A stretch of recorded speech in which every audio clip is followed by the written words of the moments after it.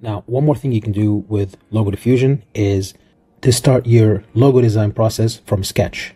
So to start with the sketch, we can go to this edit icon here and click on it. And this is going to load up our image editor. Now inside of here, we can choose a brush size. So let's go for this size and let's make it black. And let's say I want to make a logo of a horse head that's looking to the side. So I'm going to do something really rough from here. Right, this is kind of like the head of the horse. Here's this eye. Maybe give it a couple ears here and a jawline. And that's pretty much it. We can just save. And then uh, in here, you can see the images load to kind of show us which uh, edge detection method we're going to use with it. So uh, for here, I want to go with shape blocks. For image influence, I'm going to put it at 3. I don't want it to follow it too much, but kind of just get inspired by it. And creative freedom, I'm going to put it at 5 because I want to give the AI total freedom, but it needs to follow the lines uh, roughly. And then when we go here, we can just write a logo of a horse head and we can just go to styles and pick a style that we need for this uh, logo design. So for this one, I'm gonna try a couple uh, styles. Let's start with mascot and uh, let's hit generate.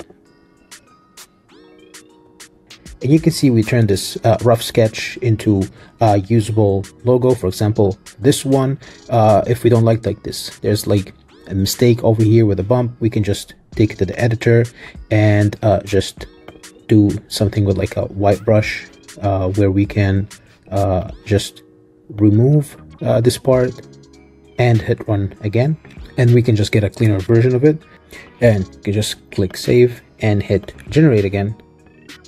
And you can see this pretty much cleaned up. Uh, the logo and gave us something uh, usable that we can just uh, take and convert into a vector or uh, improve on if we if we need to.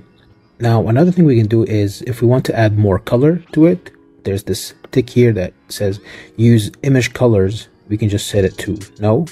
And now we're gonna get results that are not just uh, black and white. Uh, let's pick the style here mascot and generate again. And you can see we got uh, these results that look like that look like a mascot. And uh, we can just turn them into vectors or use them in our uh, project. Uh, we can do the same with different styles here. So let's say I want something kind of cartoony and let's hit generate. And you can see the different styles we were able to get with this. Um, just from a simple sketch we were able to make it more intricate and then we created a mascot and a cartoony version of it. We can also experiment with other styles. We'll be adding more styles uh, to the content style uh, list here. And this is how you use uh, the editing tool and sketching in Logo Diffusion